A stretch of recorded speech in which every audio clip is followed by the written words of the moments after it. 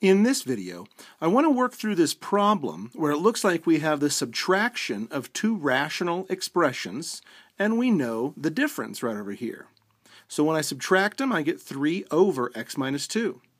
But I don't know what this numerator is, so I would like to, you know, determine what polynomial belongs in this numerator.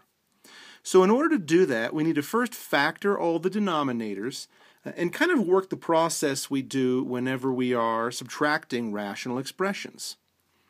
So what I can do here first is do factor by grouping, and then on this one it looks like it's difference of squares. So x minus 2, x plus 2. Okay, so over on this one, I'm going to factor out first an x squared, and I'm going to have 2x minus 1. And then I'm going to factor out a minus 4, and then it looks like I'll have a 2x minus 1. So my x squared minus 4 is one of the factors with 2x minus 1. But of course I see here that this is also difference of squares again. Okay, so x plus 2, x minus 2, 2x minus 1. This is what I have for a denominator in the first rational expression. This is what I have for a denominator in the second rational expression.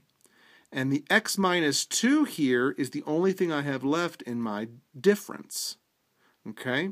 So what that means is whatever this common denominator happens to come out to be, I cancel a lot of stuff from the numerator to denominator. I'm only left with x minus 2.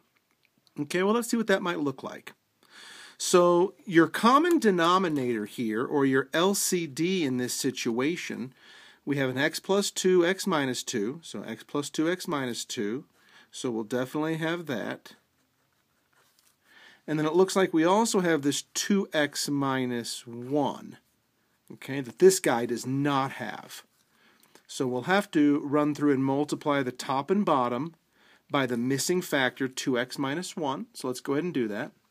I'm going to leave this as a question mark for now because I'm just not sure what that is. So the question mark minus, so minus, we have the 3x minus 2 in parentheses because this is the entire numerator. And what am I going to do with that numerator? Well, I'm going to multiply it by the missing factor 2x minus 1. okay, so let's go ahead and see what that looks like. So 6x squared minus 3x minus 4x plus 2. So uh, 6x squared minus 7x plus 2.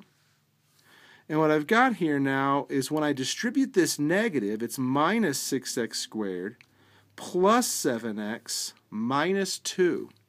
Okay, so this is what the, the whole numerator turns out to be uh, on the left side of this equation. So I've gotten common denominators, and this whole numerator is the question mark minus these terms, right? So let's go ahead and write that all now with that common denominator. So x plus 2, x minus 2, 2x minus 1. Okay, and what does this equal? Well, we know from up here the difference was 3 over x minus 2. Okay, well, in order to have just x minus 2 in the denominator, which is this guy, we know that the x plus 2 and the 2x minus 1 must have canceled out.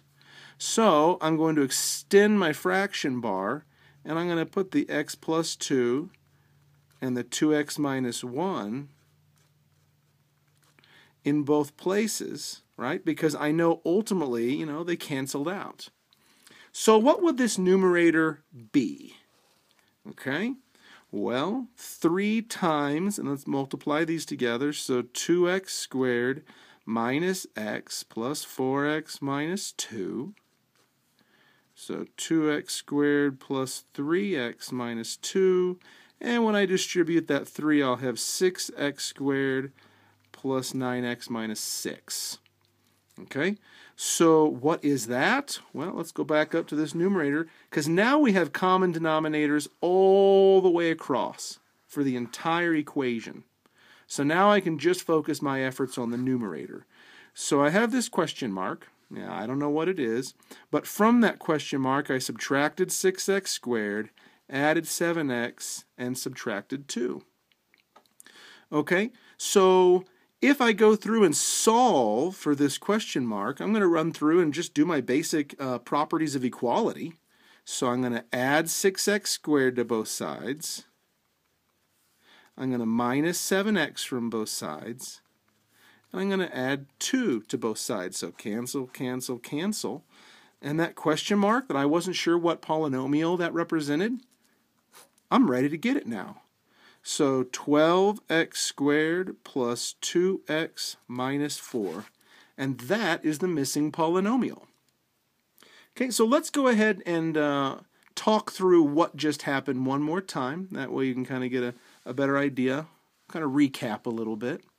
So we started with a rational expression here equaling to another rational expression. Essentially, I was subtracting two rational expressions and I had their difference right here. Obviously, all of these denominators are different.